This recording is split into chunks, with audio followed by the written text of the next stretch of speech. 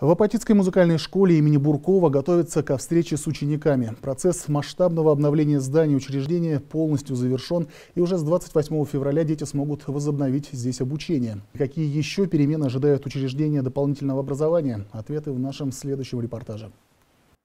Красивый яркий сайдинг, светящаяся вывеска и наружное освещение, комплекс ремонтных работ в буквальном смысле преобразил здание музыкальной школы.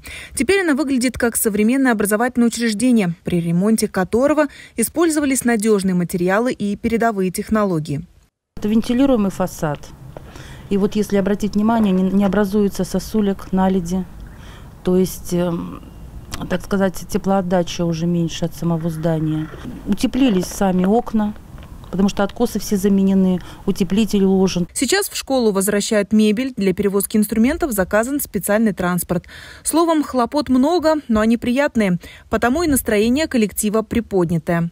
Ранее, когда к нам приезжали педагоги, учащиеся из других городов для принятия участия в конкурсе, в концертах, наше здание выглядело не, не настолько ярко, как оно выглядит сейчас. Сейчас гораздо приятнее говорить людям, приезжайте к нам и ищите музыкальную школу. Теперь наша школа действительно настоящее произведение искусства. Обновление школы продолжится. Внимание требуют помещения и учебные аудитории. Капитальный ремонт внутри здания не проводили с момента его постройки. В 2022 году мы планируем э, разработать э, проектно-сметную документацию и э, в 2023 году податься на капитальный ремонт уже внутри здания детской музыкальной школы. Также у нас запланированы приобретение музыкальных инструментов как в 2022 году, так и в 2023 году.